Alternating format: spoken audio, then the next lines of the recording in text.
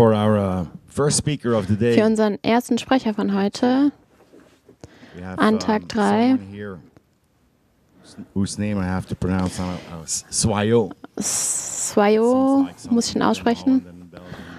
Um, Swa. Scheint, dass ein paar Leute in Holland und Belgien ihn Swa nennen. Das ist eine ganz andere But, Interpretation. Really uh, the German Catholic priest uh, Aber Stefan ist ähm, kein katholischer Briefer, dass er es gerade googeln würde. well Aber er hat auch ein großes Interesse an Netzwerksicherheit. Man kann ihn auch. Wenn man ihn googelt, bei Ähm, Wikipedia finden. Swain ist ein sehr bekannter Spieler im Internet seit mehr als zwei Jahrzehnten. uh, Er ist in viele like, Programme involviert, wenn ich das jetzt richtig ausspreche. Euro X EuroX oder uh, EuroMine Dinok. und him. Also ein paar von euch kennen ihn bestimmt. member and managing director of E6 for 50 Er ist auch ein Gründer von E6 seit 15 Jahren. Besides being an old fart like me, Nicht wie so ein Alter wie ich. Ist er ein Zeitreisender, ein langlebiger Entdecker, ein Lerner. Und er möchte sein Wissen wirklich gerne mit uns teilen. Also ich freue mich wirklich, ähm, Swayo euch vorstellen zu können. Viel Spaß. Perfect.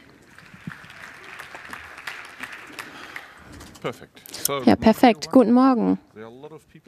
Oh, hier sind wirklich viele Leute. Das hätte ich gar nicht erwartet. Als ich die hier angekommen bin, war es echt wirklich leer. Da war niemand auf den Straßen, niemand in der Straßenbahn und ich freue mich, dass es ein paar geschafft haben, obwohl es Tag 3 ist. Ich weiß, es ist wirklich schwer für euch und ich freue mich wirklich, dass ihr dabei seid. Um, as said before, um, Also wie as- schon gesagt wurde und angekündigt, es ist, es geht um Netzneutralität. Das ist wirklich der rote Faden der ganzen Präsentation. big buzzword. Es ist ein großes Buzzword. Ich bin keine Rechtsperson, ich bin auch kein Businessmensch, ich komme von der Netzwerkseite. Ich seid nicht enttäuscht, ich werde euch nichts über Rechte und Legal erzählen, das kann ich heute nicht machen. Also seid nicht überrascht, wenn es wirklich netzwerkszentriert ist. Also, also ihr könnt meinen Disclaimer lesen, Standard, ich arbeite hier für ein Unternehmen. Worum heute? Commercial aspects. um, Also ich zeige heute, wie die kommerziellen Aspekte des Internets insbesondere zum Zugang ähm, das beeinflussen. Das ist wirklich das, wo wir Zahlen kriegen, weil alles andere ist versteckt in der Cloud, im Nebel, Wie auch immer. Ja, ich möchte euch auch die Argumente vorstellen, die von Befürwortern und Gegnern von Netzneutralität verwendet werden. Das ist wirklich die letzte Slide.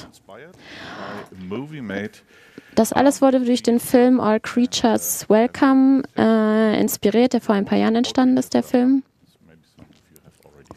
Vielleicht haben einige von euch den bereits schon gesehen. Es waren drei Stunden, ich habe die letzten acht Minuten gesehen. Slides were down to 80, so Ja, ich hatte 120 Slides, jetzt sind wir runter auf 80, aber deshalb lass anfangen.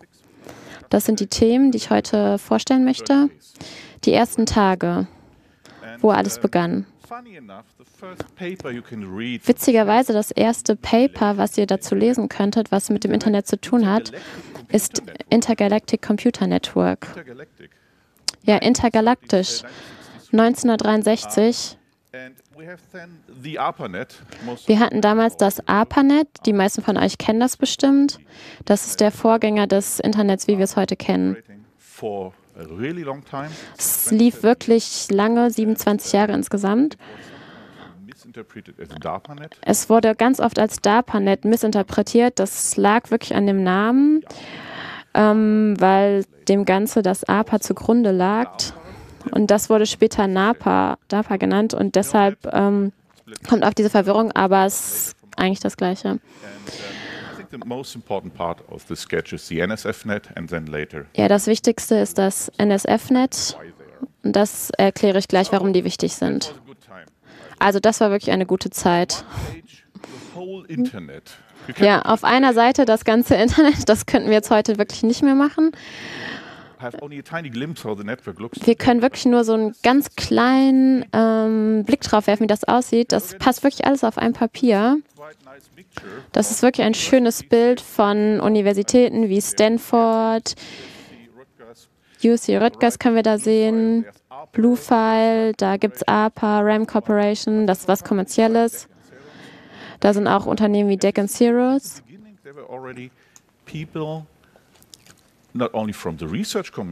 Also wie ihr seht, waren am Anfang nicht nur Leute von der Forschung, aber auch kommerzielle Unternehmen war, waren involviert.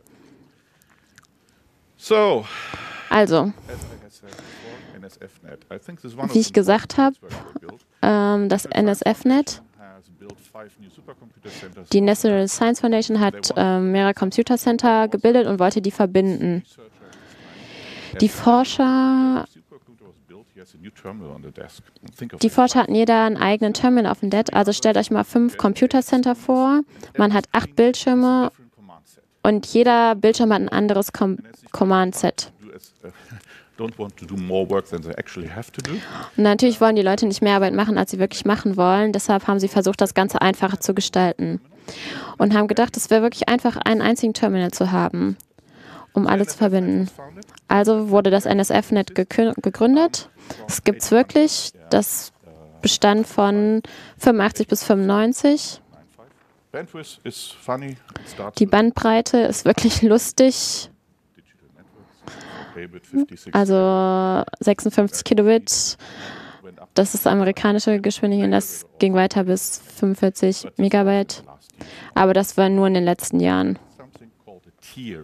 Die haben was empfunden, erfunden, das nennt sich Tier. Habt ihr davon schon mal gehört? Also einer hat davon schon mal gehört, vielleicht ein paar von der Forschung.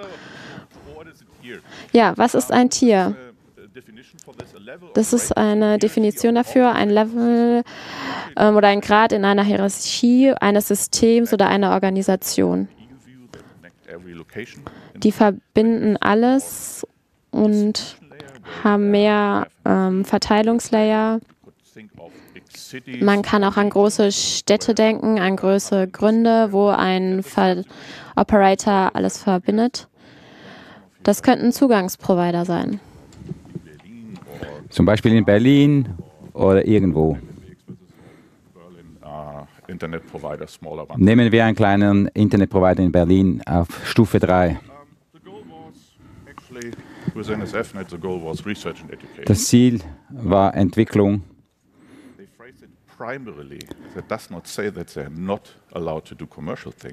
Sie war nicht äh, gestattet, kommerzielles zu betreiben und deshalb gab es AGBs Und-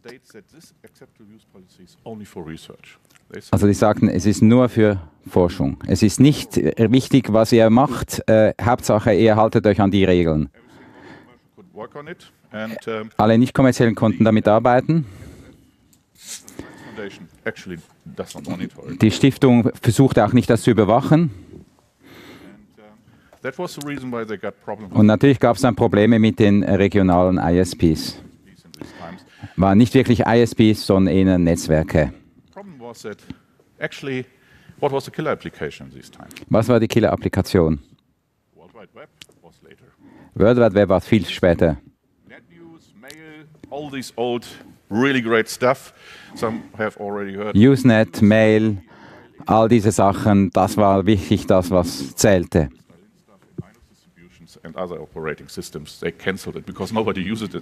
Und vieles wurde abgeschafft, weil es niemand äh, benutzt hat. Die hatten äh, fünf bis sechs E-Mail-Systeme und mit NSF konnten sie alles verbinden. So konnte man von CompuServe zu TimeNet äh, Mails schicken, sonst wäre das nicht gewesen. Und man musste nicht in fünf verschiedene Plattformen einche- einwählen. As I said, interconnecting mail servers, actually, uh, Also es ging darum, die Mail-Server zu mi mischen. Das hieß Alternet, dann Unet, dann gab es mehrere Provider. Und jetzt kommt die wirtschaftliche Seite hinein. Also die wirtschaftliche Seite hat die kommerzielle und die nicht kommerzielle Seite. Es ist schwierig, eine gute Definition zu finden. It explains itself. I will read it for you. Internet Die Internetwirtschaft äh, beschreibt verschiedene Facetten, wie wir das Internet bilden, betreiben und benutzen und äh, lugt das aus betra wirtschaftlicher Betrachtungsweise an. ANS.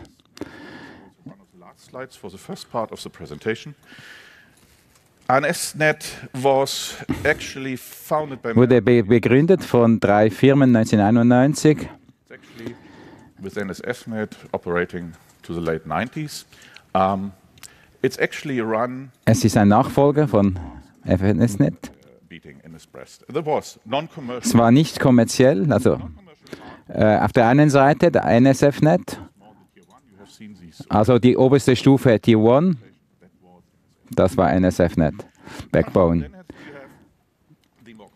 Dann gab es die wirtschaftliche, die kommerzielle Seite, der Core, wo äh, auch Forschung bet betrieben wurde.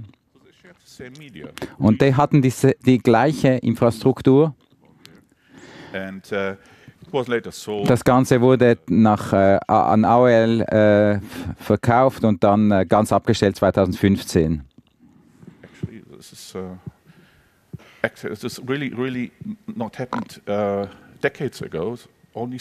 Also wenn man daran denkt, erst drei Jahre ist das her. Also diese Dinge leben lang. Also es ist der Beginn der Kommerzialisierung, in den, vor allem in den Vereinigten Staaten. Und dann kam, hey, die erste Frage kommt, wer zahlt für das Internet? Das ist das äh, nächste Thema, das wir behandeln. Nicht alles gibt es einfach äh, kostenlos. Obwohl die Forschungsanstalten natürlich viel Geld hatten, took from a missile defense ARPANET wurde übrigens von einer äh, äh, Satellitenverteidigungsanlage das Geld abgezweigt, um es zu finanzieren. Es war ja sehr stark verteidigungsorientiert. Und-. Und es war äh, ziemlich viel Geld, eine Million Dollar. Access points. Netzwerke an Zugangspunkte as you see in der Hierarchie muss man, muss man den Verkehr auf die nächste Stufe bringen und es gibt äh, vier solche Zugangspunkte in den Vereinigten Staaten. Was a problem with the first network? Actually, you have to use the NAPs. Das erste Problem war, man hat zwingend für ein äh, äh, NAP zu be- über ein NAP zu gehen, muss es dafür äh, bezahlen. Wir haben hier, hier sehen Sie die beiden, die beiden äh, Wolken, das sind die beiden NAPs. Die, die sind alle in äh, den Vereinigten Staaten und tauschen ein bisschen Geld aus. Es, es läuft etwas Geld. In the blue box, Dann schauen wir auf die blauen Boxen. Die blauen Boxen, die müssen den NAPs äh, Geld bezahlen, wenn sie Traffic haben. left west coast, right coast. Links Westküste, rechts Ostküste. So, du bezahlst zweimal. Einmal in den NAP reinzukommen und dann vom anderen NAP runterzugehen. Es war ein guter Service, weil die Küsten zu verbinden war ja wirklich eine, eine Leistung, eine sehr hilfreich. So, but wha- wha- what's the other case? If you are both in the same data center, Und wenn sie, wenn sie beide im gleichen Datacenter sind, in the reach of your hand, also die beiden zwei sind gleich nebeneinander, warum sollte hier Geld fließen? Also raufschicken und wieder runterholen. Dabei könnte man doch das gleich verbinden. Das war der Startpunkt der Internet Exchanges. Ging es darum, das zu aggregieren? Also die regionalen Angelegenheiten wurden zusammengefasst. Es gab das sogenannte Peering, so dass man äh, nicht bezahlen musste. so Das war über die NAPs. Na, gehen wir zu Europa. We have the DFN. In Deutschland gab es das Deutsche Forschungsnetz seit 1985. the network based on OSI protocol. I will not talk about OSI. That Es ist ein OSI-Protokoll, äh, darüber werde ich nicht sagen, das äh, würde zu weit führen, aber definitiv nicht äh, äh, kompatibel mit dem, was wir heute haben. Und da gab es äh, die Universitäten Dortmund und Karlsruhe, die hatten, die hatten dann äh, Verbindungen zu den USA äh, seit 1988, also zu ARPANET. Es war ziemlich teuer, aber es war äh, die Basis. Der DFN wechselte dann auch äh, in dieses Lager rüber. OSI, even if it's maybe the better protocol. I don't want to discuss it. It's uh, Auch das Protokoll möchte ich nicht diskutieren. Dann gab es Individual Networks, e.V., ein Verein äh, seit 1992. old as I've seen this, I thought, oh my God, I have never thought that it's so old um, that they started so early with it. And uh, Das ist wahnsinnig, dass sie so früh gestartet haben. Also sehr gute Arbeit, muss ich sagen, die dieser Verein geleistet hat. Die Engländer, die waren schon seit 1973 in ARPANET, das University College of London, also zwölf Jahre bevor die deutschen äh, äh, wissenschaftlichen Netzwerke überhaupt äh, gestartet äh, haben. well, okay, German Telecom. Um, everybody knows Bildschirmtext. I think Jedermann kennt Bildschirmtext. in last in- 20 years, a lot of these congresses. Ganz viel haben wir gesehen an den Kongressen. War ein äh, erster Textsystem auf CCC. There were 850,000 CDs sent out with a Mosaic browser. Es gab 850.000 CDs mit dem ersten Browser, Mosaic Browser 1995. Äh, es war quite, äh, ziemlich langsam, aber es war der Startpunkt. So konnte man über die BTX-Plattform äh, sich einwählen. CompuServe war dann auch drin. Äh, dann natürlich die Einwählpools von den Universitäten und dann private Firmen. Eight modem lines to the internet.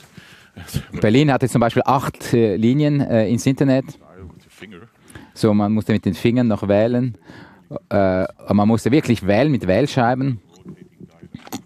Unglaublich. Und dann gab es ein paar Firmen, die ich hier auf der Folie habe. Think of them as these tiny green buttons. Das sind die ri- richtig kleinen grünen Punkte, die ihr auf meinem äh, äh, Diagramm gesehen habt. Dann andere Dienstleistungen. Ja, ja, man erinnert sich vielleicht äh, Bulletin Boards und Mailbox-Systeme. Als das Internet mal stand, waren sie alle, alle weg. Der Tag Null, wann begann das Internet? Das war äh, 1983, das ist das offizielle äh, Geburtsdatum der erste erste. Äh, NCP wurde abgestellt und äh, das TCP/IP-Protokoll wurde angestellt. Das erste E-Mail äh, wurde von in Karlsruhe 1984 empfangen. Dann die I-Domains kamen 1986. Dann das HTTP wurde dann äh, von Time Berners-Lee und beim CERN 1989 gegründet. Es war primär für das kommerzielle Internet und für den, für den privaten äh, Verwender. Das ist ein, wichtig im, im, äh, zu, zu behalten. So, das war das erste Mal, dass, dass das kryptische, unverständliche äh, Internet in ein verständliches Interface übersetzt wurde. Und eben 1995 sandte dann die Telekom 850 Internet-CDs äh, raus. Äh, Mosaic war nicht der beste Browser, aber man konnte Bildchen sehen, man konnte Links sehen. Es gab eine ganze Geschichte, auch, auch diese. Wir würden äh, bis, bis morgen zum Frühstück äh, könnten wir darüber äh, äh, erzählen. cut here. Um, maybe this is part of another uh, presentation. Ja, das war hier ein, ein kleiner Stopp. Das könnte dann mal von einer, bei einer anderen Präsentation stattfinden. Ja, das Netzwerk erklärt. Das ist vielleicht für einige von euch ein bisschen langweilig, weil ihr in diesem Bereich arbeitet. Let's look at the traffic. Aber gucken wir uns mal den Traffic Flow im Internet an. Und das ist wirklich ein sehr einfaches Modell. Sehr, sehr einfach. Und jetzt beschuldige ich mich dann nicht für, wenn ihr denkt, das ist nicht richtig. Das können wir später nochmal diskutieren. Also fangen wir mal in der Mitte an, beim Core. Ja, das ähm, Zentrum, das Core, ist das Tiermodell, was ihr vorher schon gesehen habt. Und auch die Links mit den großen Anbietern, die nicht dafür bezahlen, für den Traffic. Ähm, ja, es gibt heute ein ganzes Dutzend ähm, Unternehmen. Sehr international, viele Unternehmen von dem ersten Unternehmen, auch nicht so viele asiatische, aber das sind wirklich die Leute, die das Backbone zwischen den Kontinenten stellen. Die ganzen Cross-Verlinkungen ähm, auf einer globalen Ebene auch. Dann haben wir Tier 2. Dafür bezahlt ihr jetzt Geld, wenn ihr Traffic haben wollt. Ähm, zahlt ihr Geld, um im Gegenzug Traffic zu bekommen. Und die Grünen, da zahlt ihr ein bisschen mehr um Zugang zum Internet zu bekommen. Was ich jetzt nicht zeige, ist, wenn es jetzt noch tiefer gehen würde, wäre das der Zugang, also das halt wirklich dann ihr, die das Internet benutzen. Also, in einer ideellen Welt würde der Traffic umsonst sein. Zwischen den grünen Bubbles wenn es da eine direkte Verbindung gäbe, würde man dafür nicht mehr bezahlen müssen.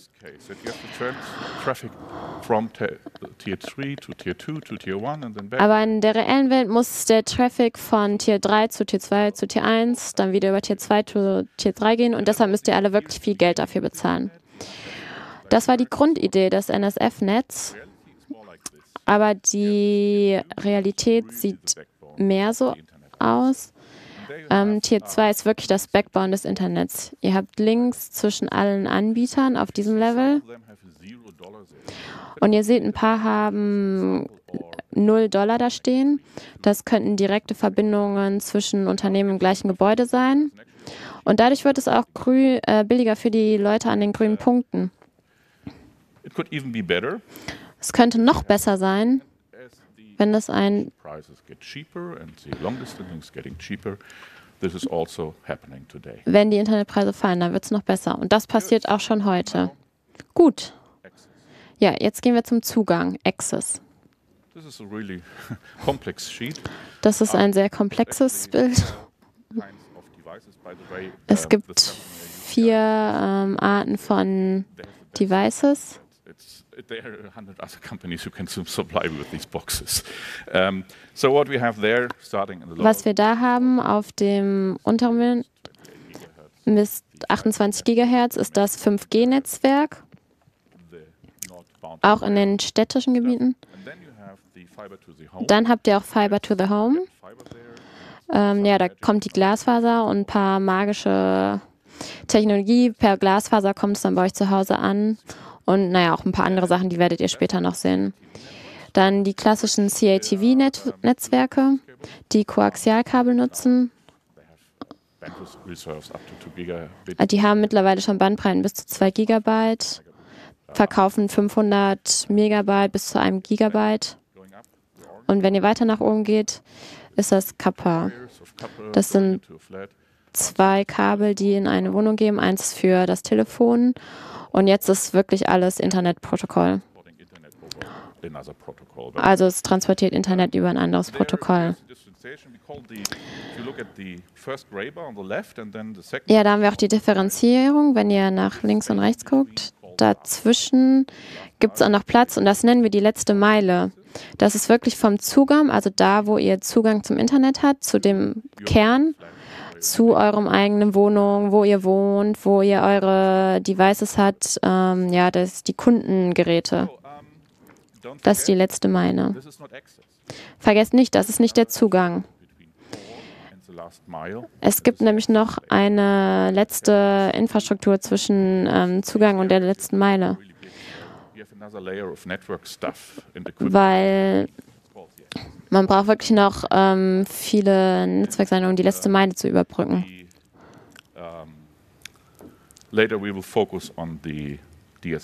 Später gucken wir nochmal auf die DSL-Verbindungen, die gänglichsten. Da sind auch wirklich echte Zahlen, die wir vergleichen können. Ja, kommen wir mal zum Inhalt, zum Content. The middle, Content Deliverant. Ja, in der Mitte haben wir das Core. Dann habt ihr die ganzen Gegenden, also Nordamerika, Südamerika, Europa, China, Australien, Afrika. Sorry, forgot it in this slide. Es tut mir leid, Afrika habe ich vergessen, aber es kommt später nochmal. Und da habt ihr diese großen Cloud-Anbieter, AWS, Azure, Oracle, NI, ja sogar Salesforce und SAP haben schon ihre eigenen Cloud-Angebote. operators. And they have data centers. Die haben Datencenter mit ganz vielen Servern, die in eurer Region basiert sind. Es gibt auch Initiativen in China wie Al-Yuan. Have also. Wir haben auch Cloud-Dienste in Deutschland und die fokussieren sich wirklich auf den lokalen Markt. Es gibt natürlich noch mehr Wettbewerber auf dem Markt und der Markt verändert sich wirklich schnell. Die blauen Pfeile, die ihr dort seht, das sind die Internetprotokolle, wo der Tran Traffic transportiert wird. Wenn ihr Google mit Alphabet nimmt oder die Suchmaschine,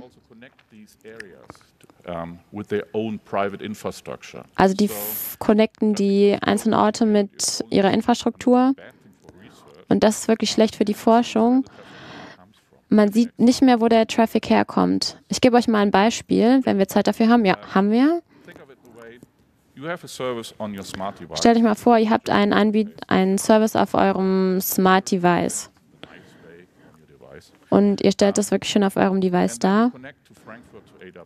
Und dann verbindet ihr euch in, mit Frankfurt mit AWS. And ist die gleiche Geschichte. Aber wo liegen eure Daten? Ist das in Frankreich? Frankfurt? Das wisst ihr nicht. Es könnte aber auch in Nordamerika sein, es könnte auch in Asien sein oder auf beide aufgeteilt. actually pull the data to your nice interface. Und die ganzen Daten, die ihr mit eurem, Ver mit eurem Device verbindet, und die werden über deren Infrastruktur transportiert. Es ist nicht öffentlich. Ihr könnt das nicht sehen, wo der Traffic herfließt. Die bilden wirklich ein zweites äh, Network Layer. Could be Das ist sehr interessant. Denkt nochmal an das Tiermodell. Welcher Traffic geht da weg? Es ist der Traffic von Tier, Tier 1, weil die transportieren von Kontinent zu Kontinent. Aber wenn das von den Cloud-Anbietern gemacht wird, dann gibt es halt keinen Traffic mehr auf diesen Links. You have these transatlantic fiber links, undersea cables. More than 90% Wenn man diese transatlantischen Verbindungen hat, mehr als 90 Prozent von diesen Verbindungen ist kommerziell. Actually a tiny part of Es ist wirklich ein kleiner Teil des weltweit produzierten Traffics, der darüber transportiert wird. Das hat gute Gründe. Also, klassischer Content. Wir haben eine dicke Linie und dann verbinden wir uns mit dem Core und dann wird es weltweit ähm, verteilt und dann gibt es weltweite Beschwerden, die Server sind zu langsam. Man könnte wirklich überall einen Server aufstellen, das ist halt wirklich teuer. Und dann hatte einer die kluge Idee, lass doch ein Content Distribution Network gründen. Dann sollen Caches gegründet werden. Alle Caches sollen so nah beim Kunden wie möglich aufgebaut werden. Und diese Caches transportieren eure Inhalte, indem die Inhalte dorthin kopiert werden. You are getting the traffic from the site which is nearest. Und dann kriegt ihr nämlich den Traffic von dem Standort, der am nächsten an euch dran ist. Deshalb habt ihr ihn schnell. Ihr müsst nicht lange warten. Und das erkläre ich später, warum das wichtig ist. Warum man das wirklich ähm, schnell transportieren muss. Audio Es gibt auch noch die ähm, besonderen Kerne, also zum Beispiel Audio. Es ist eigentlich das gleiche, ob es ein Audio, ein Text oder Video ist. Aber es gibt wirklich einen Unterschied, weil Audio und Video unterliegen bestimmten ähm, Datenschutzbestimmungen.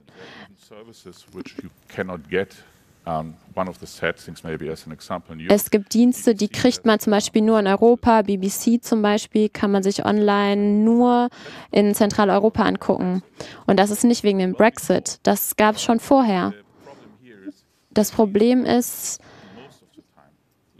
Dass dieser, diese Inhalte meistens lokal sind. Also, ihr habt bestimmt schon mal davon gehört, einige von euch, OTT.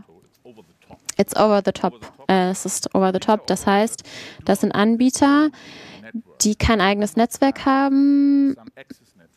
Die haben Zugangsnetzwerke, zum Beispiel like Time Warner. Die haben Netzwerke und die haben Filmstudios und die produzieren Inhalte. Die speichern das, bringen es zum Endkunden und werden von den Endkunden bezahlt für diese Inhalte. Aber diese Over-the-Top-Player, die haben das nicht. Die produzieren die Inhalte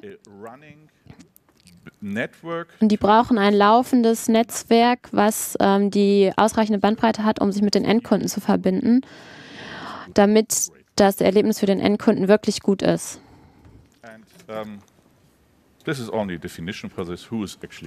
Das ist einfach nur die Definition, ähm, wer das tun. Also zum Beispiel Suchmaschinen, Social-Media-Plattformen, Video on Demand.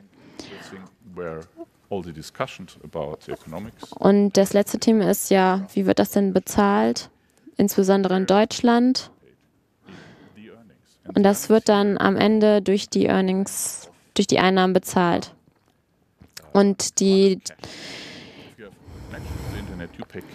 Wenn ihr eine Verbindung in, zu dem Internet, dann bezahlt ihr einfach in Cash. Aber diese OTTs, die können auch ähm, durch was anderes bezahlt werden, nämlich durch eure privaten Daten. And this advertising stuff, no access provider Ja, und durch dieses Advertising-Modell, also durch diese Werbung, die ähm, Netzwerkprovider, die sehen kein Geld da drin. Nur die OTTs, die sehen das. Ähm, aber die OTTs, die interessieren sich wirklich gar nicht für das Geld, was ihr bezahlt. Die wollen einfach eure Daten haben. So, you now have a nice model. Also wir haben ein schönes Wir haben jetzt Modell. ein schönes Modell.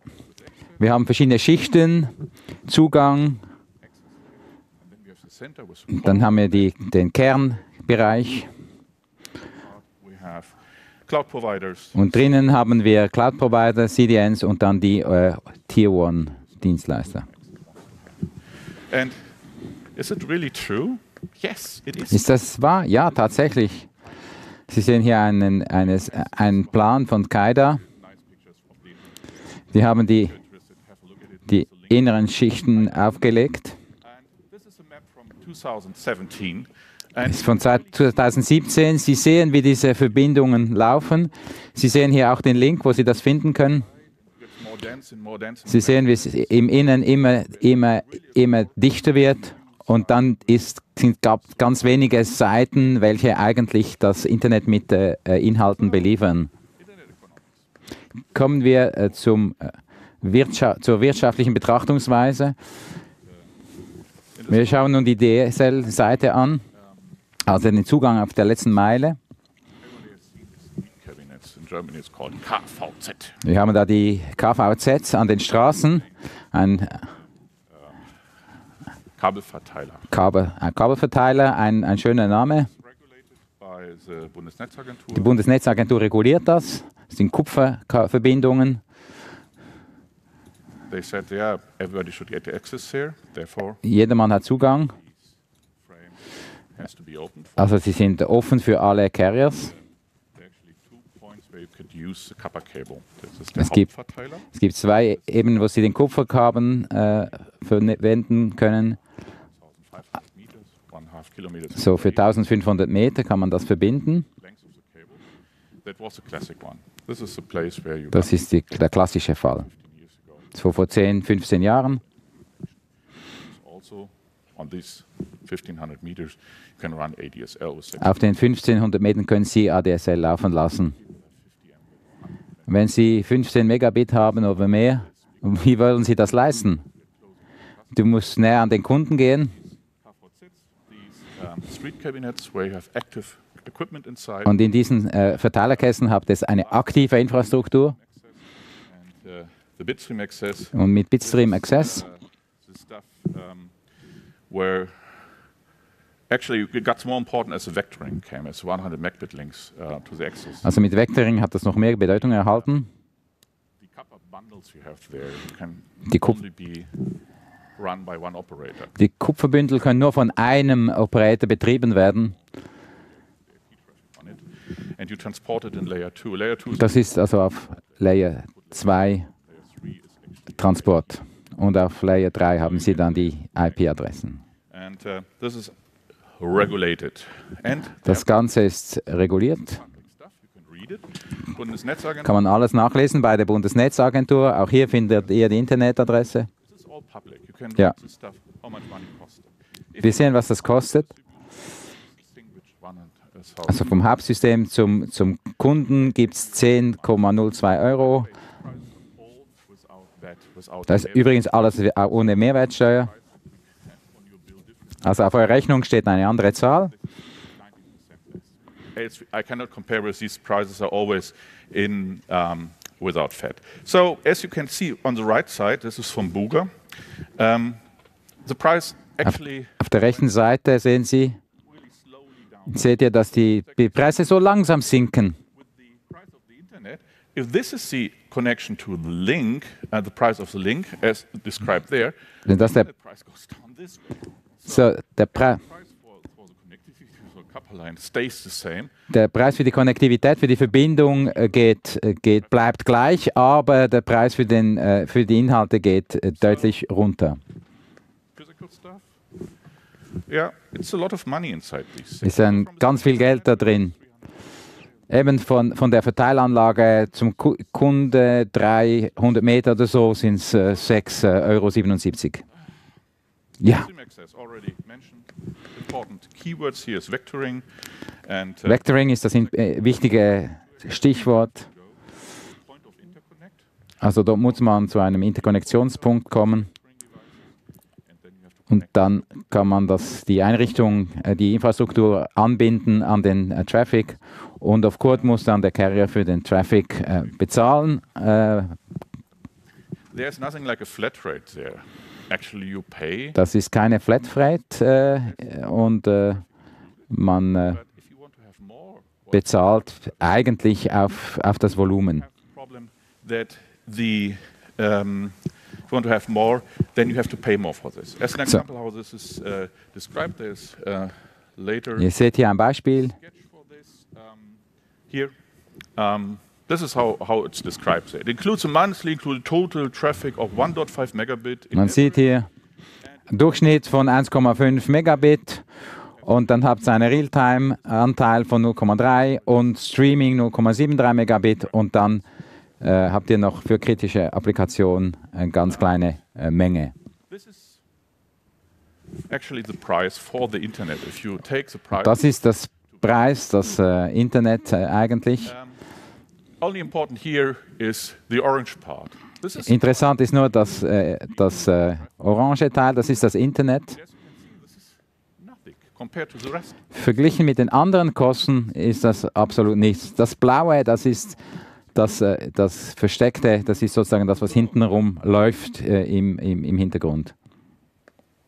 The provider sells you traffic for a gigabit of 60 euros, and Man verkauft euch ein Gigabit für 60, 60 Euro.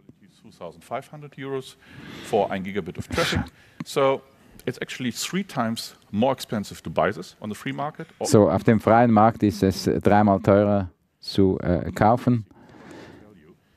because uh, all the business cases of the carriers depend on it. Alle Business äh, äh, Businessmodelle hängen davon ab. Internet Traffic Core defined that there's a huge difference in price, as you have seen, and quality, and there are different important things. One Es gibt große Preisunterschiede. Es ist nicht überall verfügbar. Normalerweise hat man zwei Links, um Konnektivität zu haben, um sicher zu sein, redundant, oder?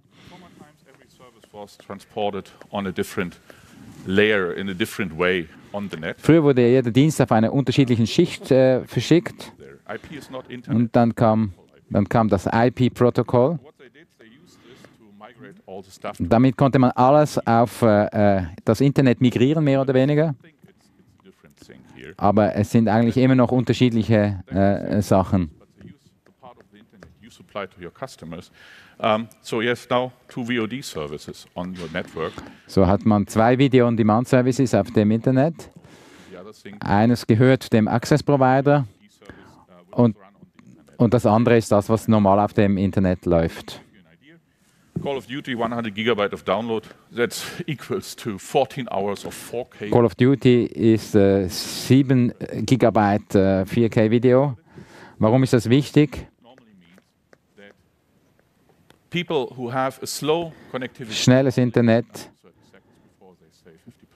Is not warten einige Zeit, bis das äh, läuft. fast connection. This time shortens to 5 seconds. Äh, wenn, es, äh, wenn Sie eine schnelle Verbindung haben, in 5 Sekunden äh, sind Sie drin und deshalb, äh, wenn Sie Kunden haben wollen, brauchen Sie eine ganz schnelle Konnektivität.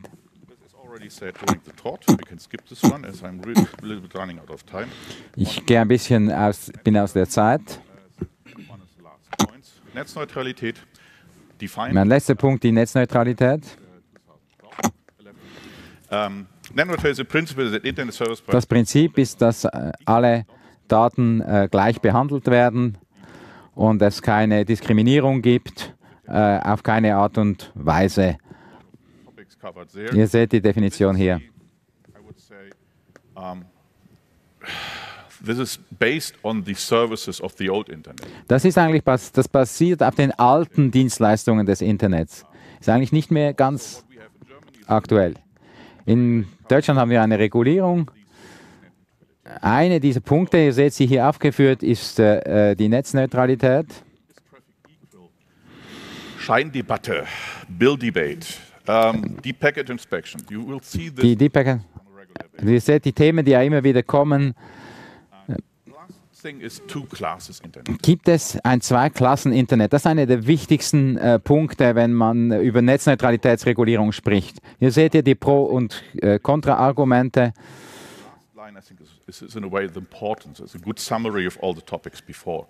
Die letzte Zeile ist eigentlich äh, die wichtigste, weil sie sagen, eigentlich gehört das Internet niemand. Es wurde nicht gemacht, dass es jemandem äh, gehört.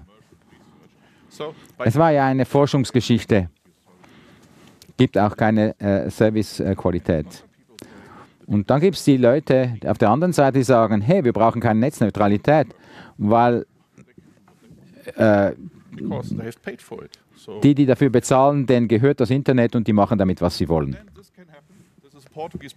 Hier haben wir die Thematik mit einem äh, portugiesischen äh, Provider. Ihr seht, was dann passiert. for bundles of services. Man gibt dann äh, Flatrates für ganze Bündel von, von Services.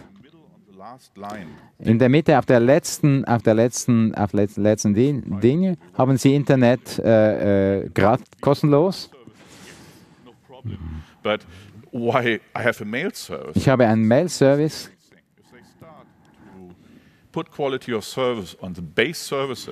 So die, die Servicequalität wird garantiert auf Mails, wo es überhaupt kein Problem gibt und nicht dort, wo es äh, Video hat. Wirklich, wirklich äh, schrecklich. Schauen wir in die Zukunft. Und ich wurde gefragt, ich soll das bringen.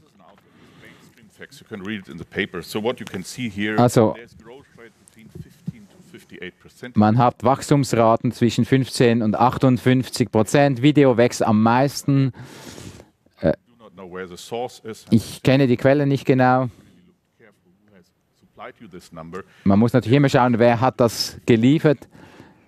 Netflix soll angeblich 50 Prozent des ganzen Internets äh, ausmachen und 50 Prozent des Internets ist, ist äh, chiffriert, also ist verschlüsselt. Und man kann also nicht äh, darin hineinschauen und das nicht anschauen. So, um, Alphabet, Google, 40 percent in the APEC region. We'll see this in Europe. Also äh, Google hat äh, 40 äh, Prozent in, in Asia Pacific, wird überall eigentlich gleich stark kommen. Was sind eigentlich Herausforderungen? Redefined. Also die Netzneutralität wird neu definiert werden. Es gibt diese OTTs. Wie, wie handeln wir das? Ich kenne die Antwort nicht. Es muss eine Diskussion geben, die wird einige Jahre dauern. Wir haben immer mehr äh, abge, abgeschirmte Gär- Gärtchen, wo man nicht keinen Zugang hat.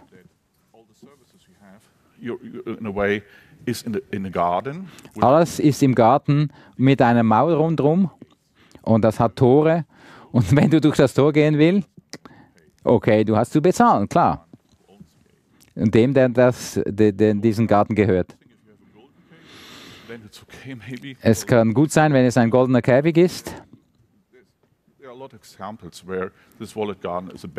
aber manchmal gibt es eben auch eine sehr schlechte Sache, weil es den Zugang beschränkt. Could now swap over In der mobilen Welt sind sie sehr verbreitet und kann jetzt zum äh, stationären Welt äh, übergehen. Ich habe die Geschichte mit dem portugiesischen Provider gesehen, wo sogar der Mail-Server als etwas äh, Spezielles äh, äh, gemacht ist. I wouldn't like it. Ich will das nicht mögen. Wir haben mehr Verschlüsselung. Dann haben wir sehr viel mehr, das in Tunnels äh, transportiert wird. Mehr webbasierte, Webbrowser-basierte Applikationen. So, äh, du brauchst kein Betriebssystem mehr, du kannst, brauchst mit einem äh, Browser.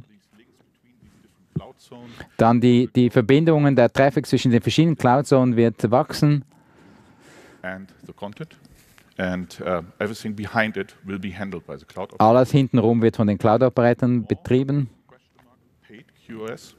Quality of service. Mehr äh, Qualität, äh, Servicequalität muss bezahlt werden.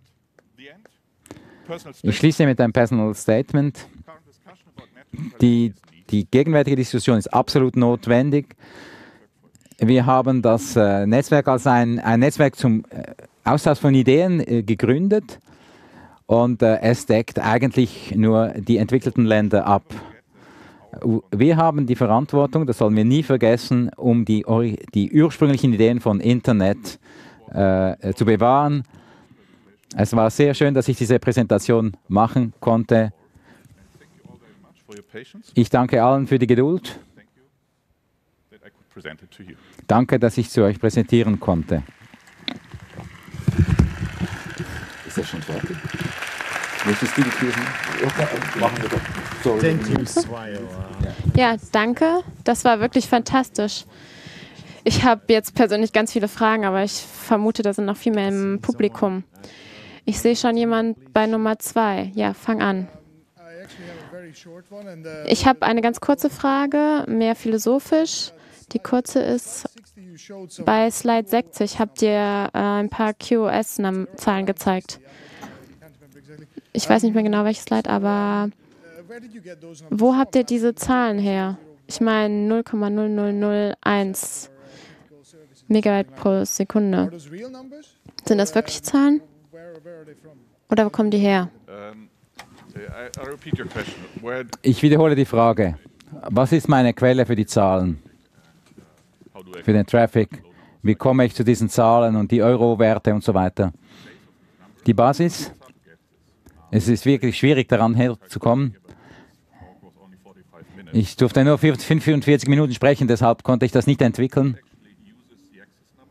Man nimmt die Anzahl äh, Zugänge und mixt es mit äh, Mainstream-Quellen. Netflix and 58%. Das die Zahlen, die ich nachher gezeigt habe, was äh, Netflix ist und so weiter. Das ist der Blick in die Kristallkugel, ehrlicherweise. Stuff is top secret. Also even, sogar wenn ich die Zahlen kennen würde, das ist absolut top ge äh, geheim. Niemand wird äh, Ihnen euch das sagen. Ja, noch eine andere Frage. Du hast gesagt, dass Vault Gardens, ähm, Wallet Gardens äh, kreiert würden. Das habe ich nicht gesagt. Maybe you're lucky and you have a golden cage. You're providing Vielleicht bist du glücklich und hast den goldenen Käfig. Und du bist happy mit dem, was du kriegst. Nicht als, als Operator, sondern du als Kunde bist happy damit. maybe 2% of these people Ihr seid 2% von diesen Leuten, die das Internet benutzen. 98 sind außerhalb, äh, sind eure Eltern, eure Großeltern, die normalen Leute sozusagen. Die können zufrieden sein mit diesem goldenen Käfig. gute Unterstützung, guter Support, die bezahlen dafür. Wir aber sagen, es ist äh, eine Beschränkung. Also was meine Hauptfrage ist, ich habe manchmal das Gefühl, dass es große technologische Änderungen geben müsste, die insbesondere beim Backbone, beim IP, ist das wirklich eine gute Sache? Da sind auch interessante Sachen, wo man wirklich die Daten adressiert, die Endpunkte. Wie siehst du, wie sich das in den nächsten Jahren, in Jahrzehnten entwickeln wird? Wird sowas entstehen? So, Ja, ich hoffe, jeder hat das begriffen. Ich sehe, was du meinst. the interconnection of the cloud providers. Because they are free, they can use their own proprietary standards. And Bei der Interkonnektion der Cloud-Provider, die können ihre eigenen Standards äh, verwenden und das wird überschwappen.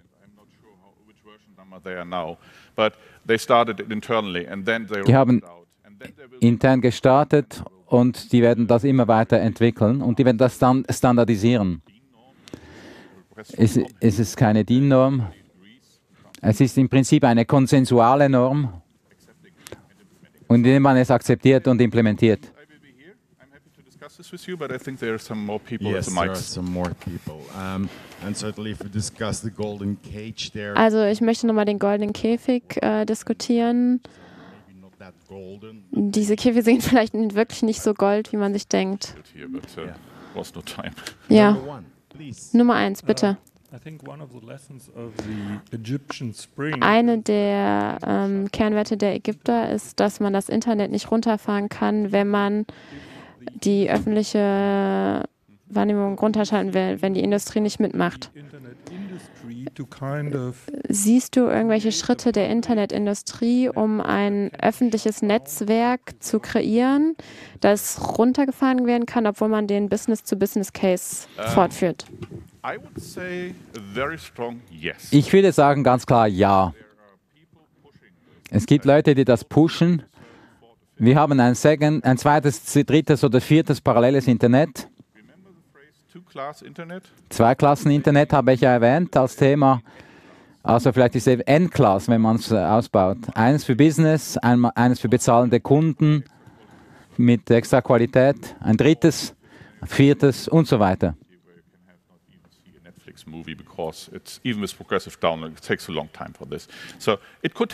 Es könnte passieren. Das ist eine der Sachen, die, wo wir sehr aufpassen müssen und sorgen dafür, dass es nicht passiert. Ja, fühlt sich so ein bisschen wie erste, zweite Klasse von Frankfurt nach Leipzig mit der Bahn zu fahren. Denkst du, das ist eine gute Idee? Ja, man endet in verschiedenen Situationen. Das eine ist schneller, aber. Ja, Mikrofon 2 bitte. My question was regarding Meine Frage ist, es geht in Bezug um die Einkommensflüsse, in Bezug auf die Infrastruktur, weil das sind ja öffentliche ähm, Anforderungen in öffentliche Investitionen. Es gehört ja mal den Sta dem Staat. Ich versuche das zu äh, übersetzen. Du kannst sagen, ja, ob, das, ob ich es richtig verstanden habe. Wenn man zum Zugang anschaut, die ganze Infrastruktur wurde bei staatlichen Firmen, von staatlichen Firmen begründet, die nun privatisiert sind. Und die verkaufen uns, was wir mit dem Steuergeld bezahlt haben. Das ist eine Argumentation, die wir seit fünf, sechs Jahren äh, gehört haben.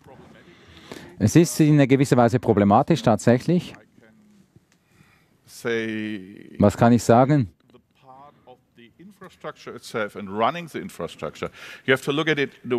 Was die Infrastruktur anbelangt, if you want this infrastructure available for more than 80% of the wenn die für, für mehr als 80 Prozent der Zeit verfügbar sein muss, muss man Geld hineintun.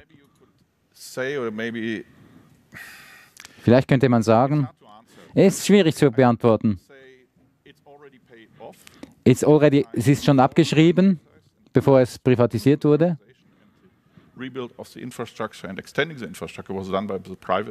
Und dann die Entwicklung äh, und wurde äh, dann und Investition von den Privaten gemacht und darum ist es eine gute Begründung, dass sie das uns äh, verkaufen können.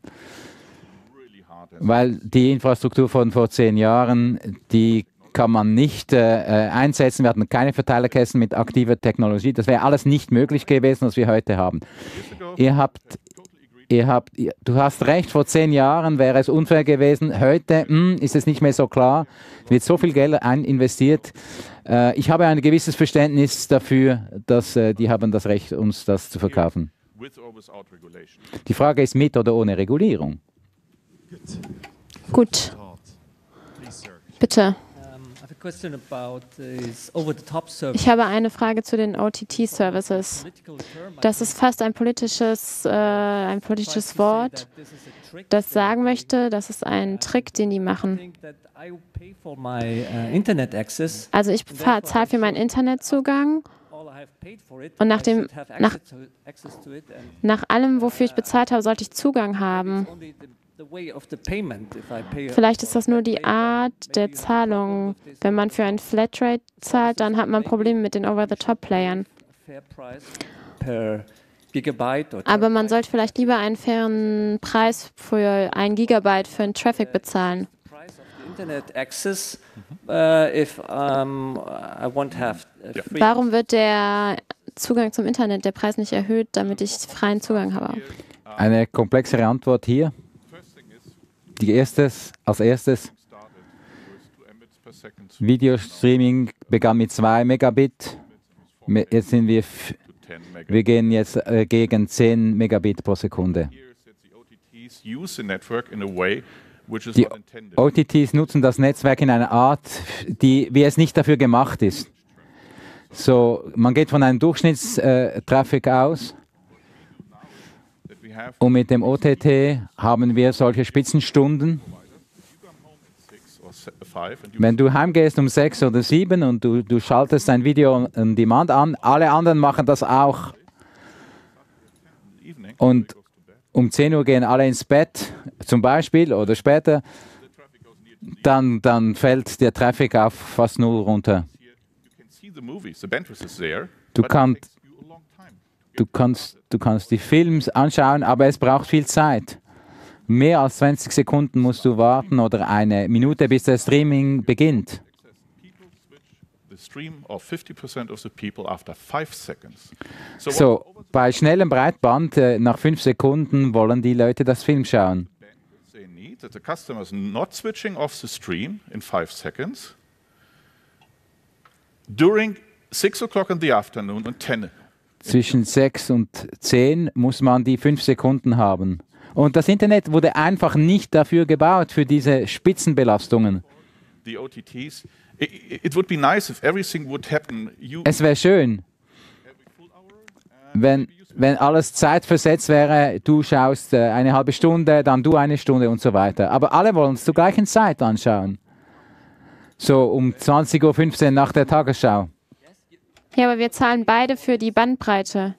Ich zahle für diese Bandbreite und jetzt sagst du mir, ich kann das nicht, kann darauf nicht zugreifen, weil alle Kunden da gleichzeitig drauf zugreifen. Aber die haben doch alle dafür bezahlt. Du bezahlst eben nicht für die Spitzenbelastung.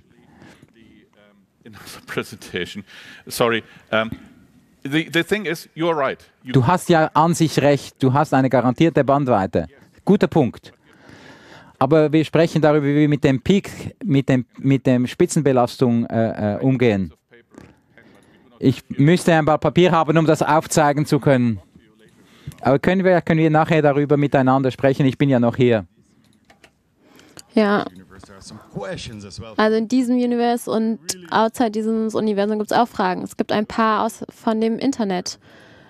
Ähm, ja, du bist noch verfügbar nach diesem Talk, aber können wir eine Frage aus dem Internet haben? Bitte. There's no question from it. Oh, es gibt äh, keine Fragen aus dem Internet. Alle sind gerade noch am Schlafen. Du bist wach. Okay, eine Frage noch. Ähm, Ein bisschen zu der vorherigen Frage. Gibt es eine öffentliche Infrastruktur für, wenn lokale Regierungen die letzte Meile übernehmen würden? Würde das das Problem lösen? Nein, so give him a mic. Maybe here's the answer for this. hier hat jemand eine Antwort. Gebt ihm ein Mikrofon. Please? Ah, sorry. Um, I'm a small town. Entschuldigung, ich bin aus einem kleinen Städtchen. Wir kooperieren mit vielen ähm, Städtecarriern, zum Beispiel in Tübingen oder Reutlingen. Also der Punkt ist, wenn man sich die Kostenstruktur von lokalen Gebäuden anguckt, es gibt einen guten Punkt, es als öffentliche Infrastruktur zu machen, weil diese ganzen Städtecarrier wie Stadtwerke buddeln ohnehin die Straßen immer auf. Es gibt also einen Business Case, diese öffentliche Infrastruktur zu bauen, äh, in einem Durchgehen zu bauen und nicht jedes Jahr immer wieder die Straße aufzugraben.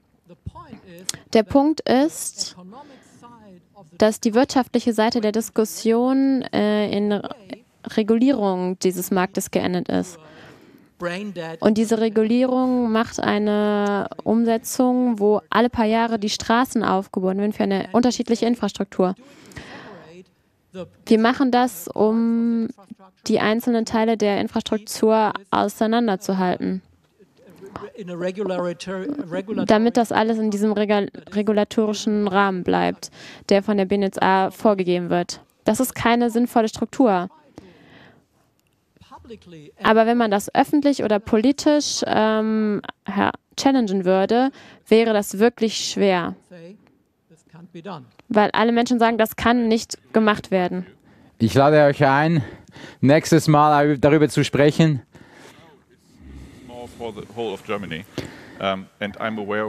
Ich, ich, mir ist das bekannt, dass die Stadtwerke zum Teil so arbeiten, auch in Amsterdam.